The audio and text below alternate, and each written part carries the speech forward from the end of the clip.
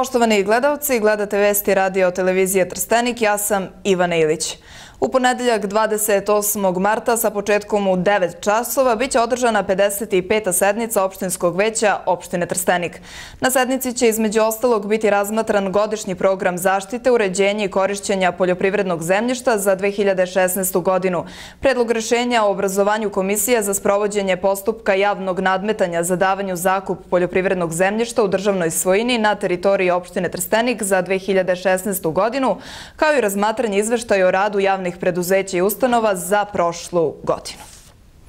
Početkom naredne nedelje počinju obimni radovi na rekonstrukciji državnog puta kroz stopanju. Radove će finansirati preduzeće Putevi Srbije, a izvođač će biti Kruševac put. Paralelno sa time radit će se na otklanjanju dugogodišnjeg problema sa kišnom kanalizacijom, koja stvara velike probleme meštanima ovog kraja. Meštani Bresnog polja godinama unazad suočavaju se sa velikim problemima na kišnoj kanalizaciji, koja usled padavina i atmosferskih voda konstantno ugrožava veliki broj obradivih površina. Ovo naseljeno mesto obišao je predsjednik opštine Trstanik Miroslav Aleksić, koji je razgovarao sa meštanima Bresnog polja o načinu rešavanja ovog problema. Imajući u vidu da u narednim danima započinje rekonstrukcija državnog puta kroz Topanju, paralelno sa time radit će se na otklanjanju ovog problema.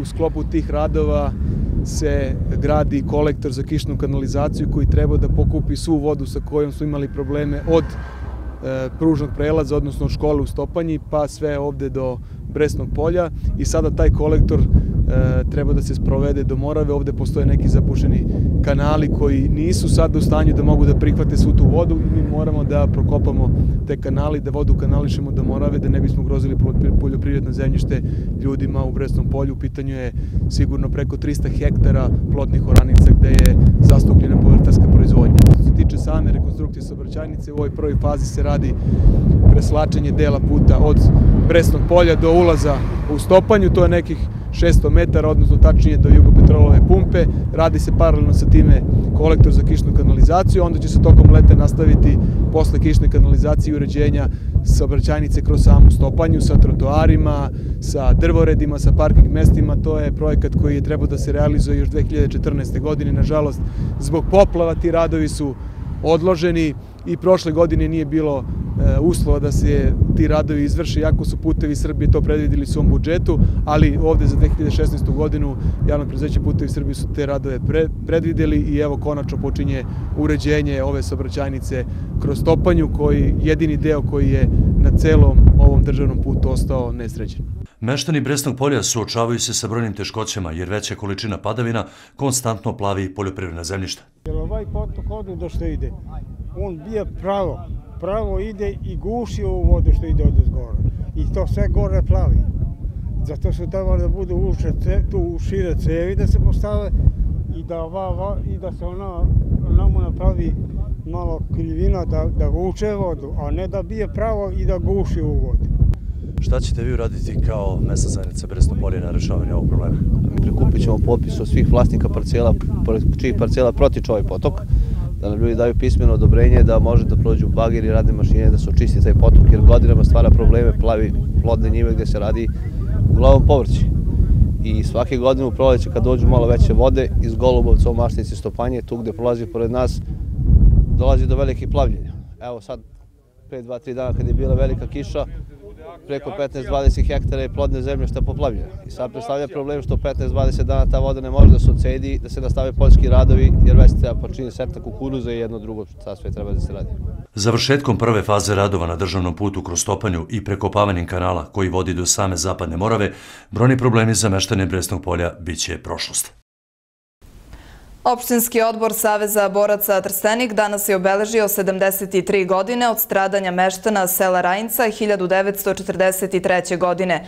Pored meštana Rajnca cveće su položili predstavnici Saveza boraca Trstenik, direktorka osnovne škole Miodrag Četinac Čajka, Đulica Perčević, predstavnici SPS-a. Prisutnima se obratio predstavnik mesne zajednice Rajnac Miodrag Stefanović, predstavnik Saveza boraca Dragoljub Milenković i Saša Rašković, član opštinskog veća. Parastu s poginulim borcima i stradalim meštanima služio je paruh Ljubostinski Daniel Stefanović.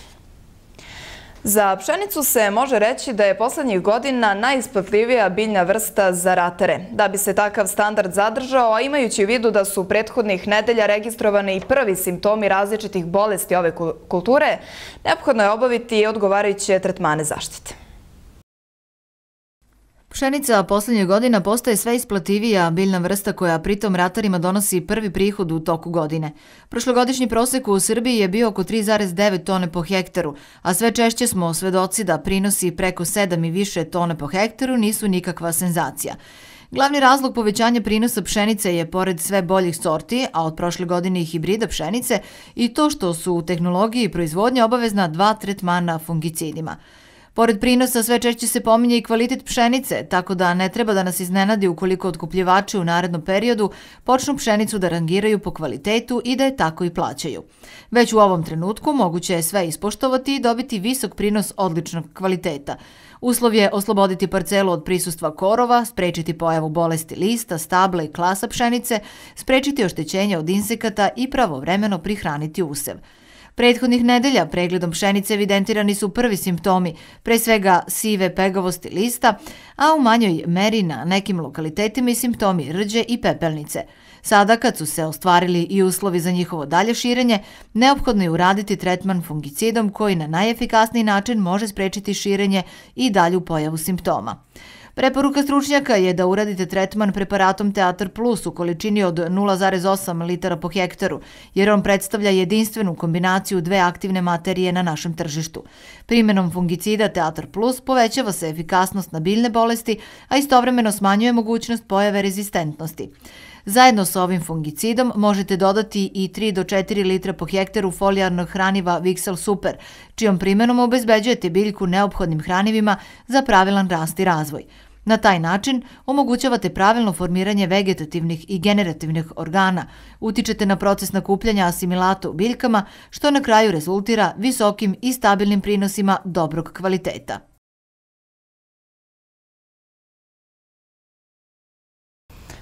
Komisija za utvrđivanje i procenu štete nastale usled poplava poziva sve građane opštine Trstenik da u služnom centru opštine Trstenik ili u mesnim kancelarijama preuzmu obrazci i prijave štetu nastalu na građevinskim objektima ili poljoprivredi. Krajnji rok za prijavu štete kraj marta meseca.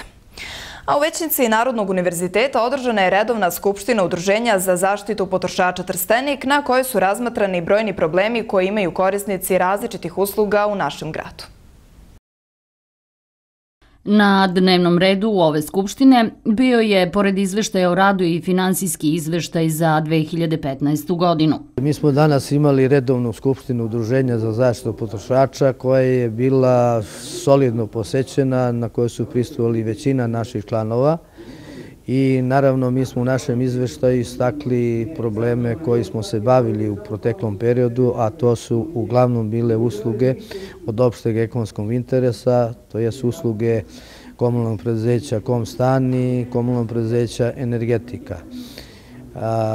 Činjenica je da su to, da kažem, problemi na koji građani imaju najveći broj reklamacija, Za razliku od e, prošle godine, to je kod e, javnog za usluge daljinskog grejanja smanjen broj reklamacija i dalje su ostali neki nerešeni aktualni problemi sa kojima smo mi upoznali rukovodstvo energetike i lokalnu samoupravu. Veći broj pritužbi je nekako ove godine što se tiče usluga Komstana, konkretno u posljednjih šest meseci povećana potrošnja vode.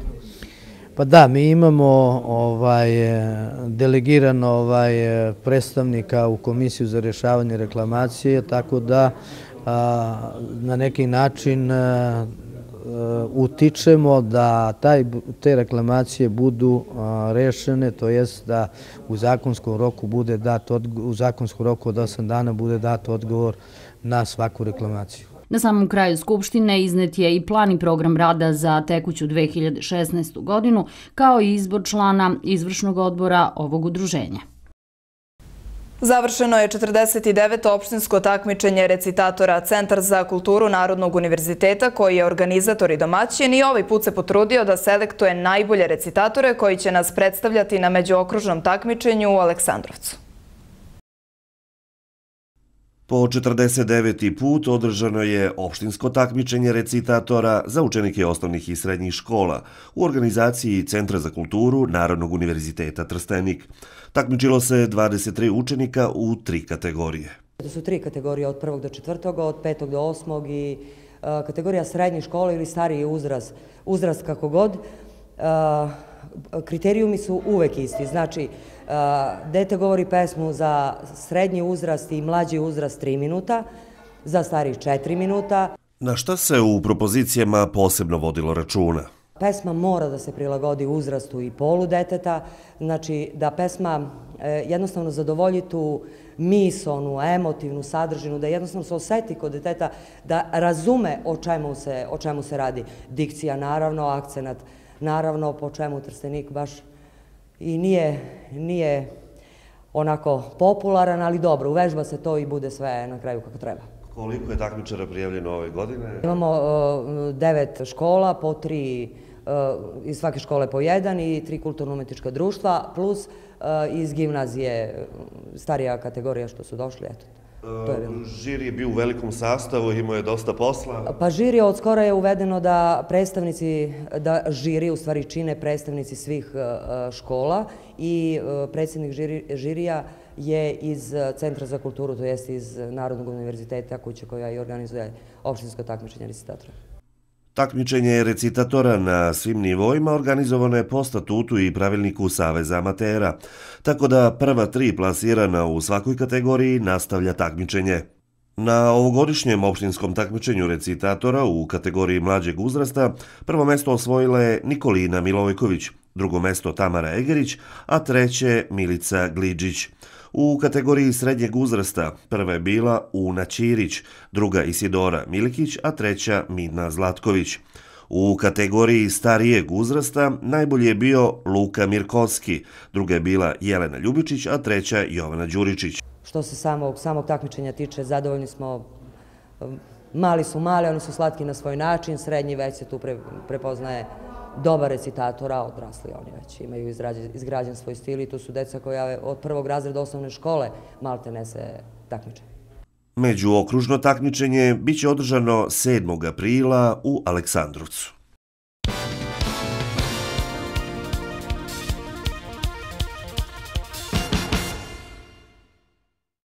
Peste iz sporta, Trstenik je ovih dana bio domaćin priprema najboljih mladih karatista iz naše zemlje, koje u drugoj polovini maja očekuje Evropsko prvenstvo u Nišu, na kome će prvi veliki međunarodni nastup imati mlada Trsteničanka Ana Međedović, koja, iako mlada, sa sada već dovoljno iskustva, očekuje neko od medalja. Najbolje karatiste Srbije u ovoj godini očekuju izuzetno kvalitetna i važna takmičenja. Već početkom aprila meseca u Dublinu će biti održano Evropsko prvenstvo za seniore i juniore, gde će u vrhunskoj konkurenciji takmičara iz 30 zemalja čast našeg grada pod nacionalnom zastavom braniti naša proslavljena reprezentativka Nada Sarić i njena mlađa koleginica Ivana Nedeljković. Paralelno sa napornim pripremama za ovo značajno takmičenje, intenzivno se radi sa mlađim takmičarima, koje od 20. do 22. maja u Nišu očekuje Evropsko prvenstvo u JK Federaciji za decu i kadete od 9 do 17 godina. Prvi veliki izazov imaće mlada trsteničanka Ana Međedović, koja je u Trsteniku vredno i marljivo radila sa drugaricama iz ostalih karate klubova. Treniram od svoje šeste godine. Šta otprilike očekuješ na ovom takmičenju? Jesu li bile do sada neka bitnija takmičenja i šta si sve osvajala na tim takmičenjima? Pa dobro, kako kad? Mislim, nisam stalno ni prva ni druga. Kako kad imali smo ligu šampiona, sad će uskoro u Trsteniku biti finale lige i tako. Ovo koje te očekuje u maju, evropsko? Da, pa ništa, ne znam. Očekujem sve najbolje, ali vidjet ćemo. Koliko dnevno moraš da treniraš? Pa treniramo sada dok su ove devajčice kod nas, moje drugarice, treniramo dva puta dnevno, jutro i uveče, a inače jednom dnevno, uglavnom. Da li je to teško kad treba da se uskladi sa školom? Pa nije, pre podne škola ili popodne, stižem sve.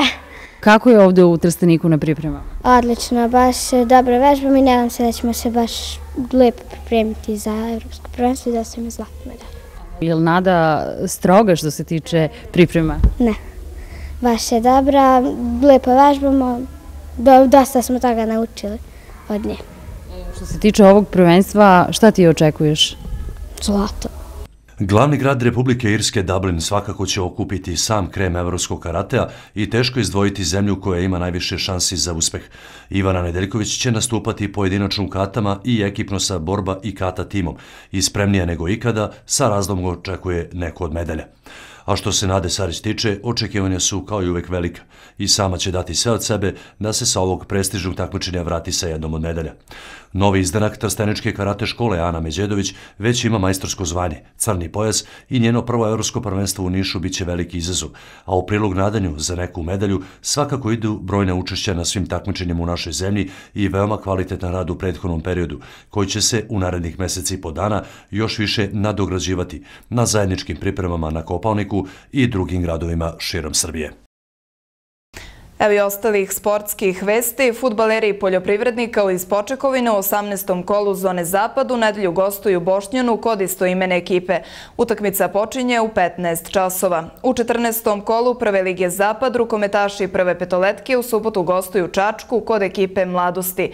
Utakmica počinje u 18 časova. A u 15. kolu Druge lige Zapad od Ubikašice Trstenika u nedelju dočekuje ekipu Crnokose iz Kosjerića. Utakmica u hali sportova počinje počinje u 14.30.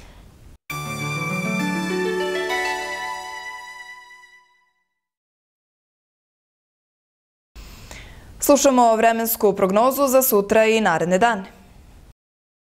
Meteorolozi za subotu najavljuju prolazno na oblačenje, ali će se zadržati uglavnom suvo, tek ponegde sa slabom i kratkotrajnom kišom u planinskim predelima sa slabim snegom. U nedelju pretežno sunčano. Početkom sljedeće sedmice novo prolazno na oblačenje ponegde sa kišom, naročito tokom utorka. Narednih dana toplije maksimalna temperatura biće u postepenom porastu i početkom sljedeće sedmice kretaće se uglavnom od 12 do 18 stepeni. Evo i ostalih vesti. Javno-komunalno preduzeće energetika obaveštava korisnike daljinskog grejenja da će od aprila meseca tekuće godine početi sa utuženjima za neizmirene obaveze. Oni mole korisnike da izmire svoje dugovanja kako bi izbegli dodatne troškove utuženja kod izvršitelja. Javno-komunalno stambeno preduzeće Komstan obaveštava korisnike da će u ponedeljak 28. marta u periodu od 9 do 13 časova imati intervenciju na vodovodnoj mreži u okviru KFV programa. Ova intervencija podrazumeva povezivanje stare i nove vodovodne mreže na raskrsnici ulica Svetog Save i Cara Dušana, pri čemu se može javiti smanjenje pritiska i delimično zamućenje usled promene režima protoka vode. Iz preduzeća Komstan obaveštavaju korisnike usluga da je utvrđena raspored očitavanja vodomera za mesec mart.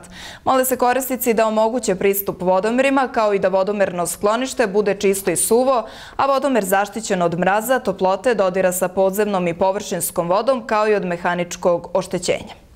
Aktiv žena penzionerki pri Crvenom krstu organizuje tradicionalno druženje u ponedeljak 28. marta u restoranu Klub sa početkom u 17 časova.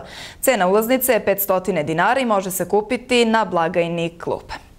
Poštovani gledoci, ovom informacijom završavamo današnje izdanje emisije Vesti. Hvala vam na pažnji i ukazanom poverenju.